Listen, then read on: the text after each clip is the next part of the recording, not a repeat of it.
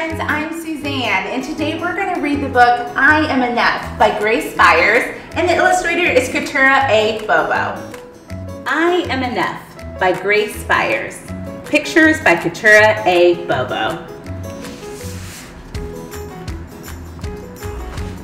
Like the sun, I'm here to shine.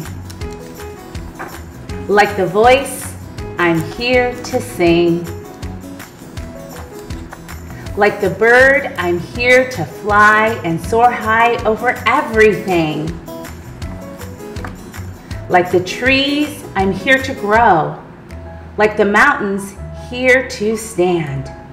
Like time, I'm here to be and be everything I can. Like the champ, I'm here to fight. Like the heart, I'm here to love.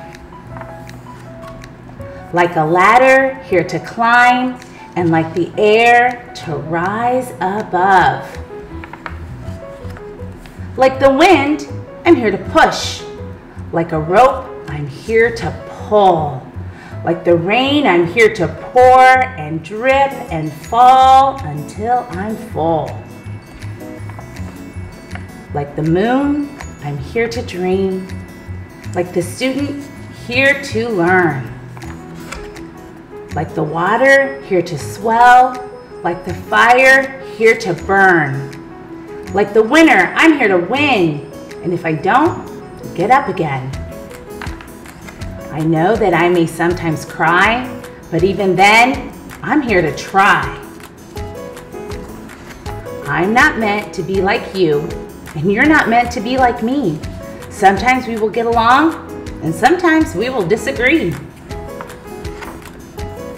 I know that we don't look the same, our skin, our eyes, our hair, our frame, but that does not dictate our worth.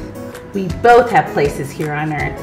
And in the end, we are right here to live a life of love, not fear.